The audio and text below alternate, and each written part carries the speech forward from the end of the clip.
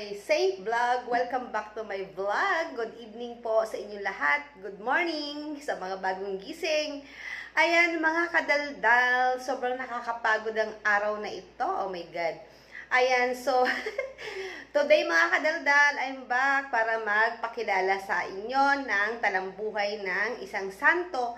Ayan, so everyday tayo magbibigay ng santo. Ayan.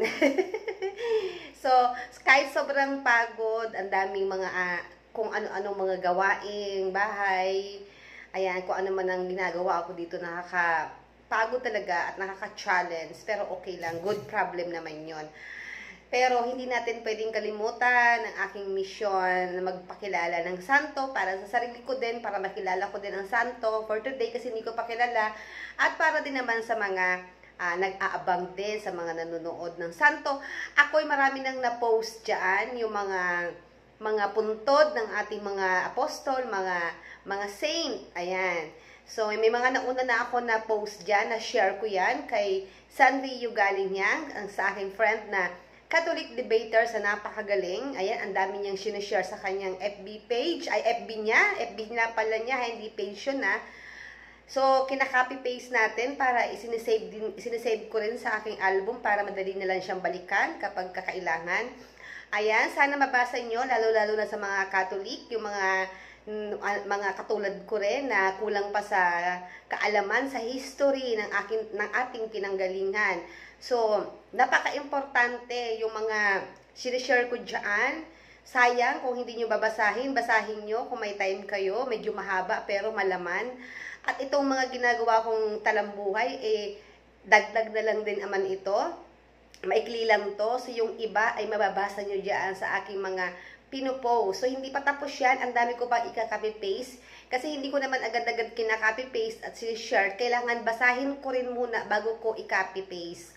Para bago ko i-share sa inyo, nas, nabasa ko at naintindihan ko muna. So, yun po. At tayo ay magbibigay na ng ating saint for today. At naputo lang ating pagbibigay ng today's video. Hindi ko agad nag hindi ko nagampanan ng tuloy-tuloy. Ilang araw na hindi ako nakapag-post kasi nga na sobrang busy. Ayan, sobrang siya pagpatapos na yung ating gawaing uh, pagpapagawa ng bahay. Andun na pumapasok yung challenge, andun na pumapasok yung nai-excite ka na kaya talagang hindi hindi na ako magka daugaga kasi sa pagpapaganda ng aking munting bahay kubo.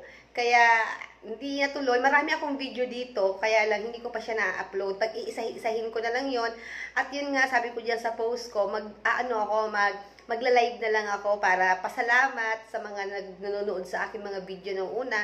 Pasalamat lang, kunting pa-premyo, katuwaan lang, for fun, magla-live ako. So, pag-games po tayo. pag-games. Pag-gcash na lang tayo ng kunti lang naman. So, kasi yun na yung pa-premyo ko ngayong month pagtap pagtapos na lahat ng aking gawain kasi super busy talaga ako.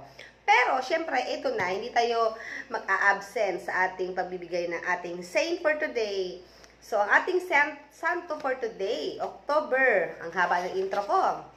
Ang daldal ko na naman. Nangargar ang lola nyo, kakakalinis ko lang ng katawan ko. Hindi na ako nakaligo kasi ayoko na maligo dahil pagod na ako. Baka ako mapasma. Wala naman namamatay sa dumi. Nagwash-wash lang ako. Ayan, so ang ating saying for today, October 19 today, 2022. Ayan ang ating santo. Nakaka-excite ang santo natin bago lang ito sa aking paningin. So mak makinig po kayo, wag po kayo nga alis ha, panoorin niyo po ang ating saying for today. Dagdag kaalaman natin sa ating mga banal na santo. So ito na, ang ating santo for today ay walang iba kundi si San Isaac Jogis. Ayan. So, di ko alam kung tama yung pronounce ko ha. Pasensya na kayo sa mga aking pag-pronounce, parang pang grade 1.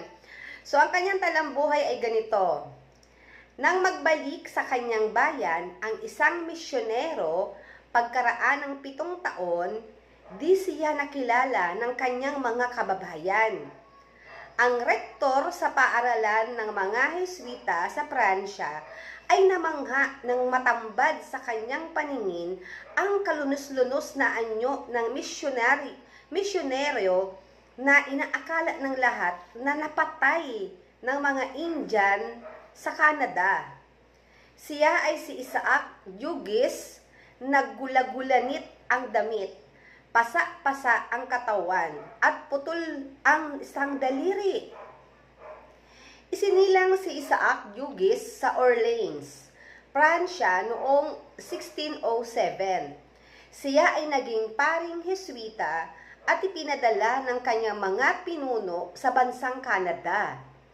Sa Hilagang Amerika noong taong 1636 na tinatawag na Lake Superior sa lupain ng mga Indian na kung tawagin ay Mohawk, Irugis at Huron. Dito siya nangaral tungkol sa mga aral ng Panginoon at sa kaharian ng Diyos sa loob ng anim na taon. Nagdanas siya ng lahat ng uri ng pagtitiis, gutom, ginaw at sakit at iba pang pagpapahirap na ginawa sa kanya ng mga Indian. Tinuruan niya sila ng katisismo, bininyagan at inakay sa landas ng pagmamahal at paglilingkod sa Panginoong Diyos. Subalit, ang naging kapalit ay ang kanyang kalunos-lunos na pagkamatay sa kamay ng mga Mohawk. Tinaga ang kanyang ulo ng mga Irokos sa Aurisville, New York State noong 1646. Grabe naman, kalunos-lunos talaga ang nangyari sa kanya, no? So yun po ang talambuhay ni San Isaac Jugis. San Isaac Jugis, ipanalangin mo po kami. So ang aral po for today ay ganito. Ang aking pag-asa ay nasa Panginoong Diyos na hindi natin kailangang tulungan upang maisagawa ang kanyang mahal na kalooban. Sikaping maging matapat sa Kanya at huwag sirain ang Kanyang gawain dahil sa ating pagkukulang.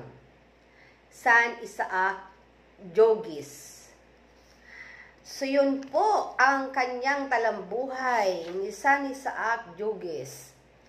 So muli po, yan po ang ating saint for today. Ayan, sana na-bless tayo at Ayan, may nakilala, nakilala na naman tayong isang santo. At tuloy-tuloy po tayo sa pagbabasa ng ating mga history, ng ating mga banal, mga apostol, at siyempre ang ating God na si Jesus Christ. Si Mama Mary, ganun din. Ang mami ni Jesus Christ. So yun po, at muli ako po si Michelle Cadaldal, Proud Roman Catholic. God Jesus bless you. Mama Mary loves you. Thanks for watching and see you tomorrow. Bye!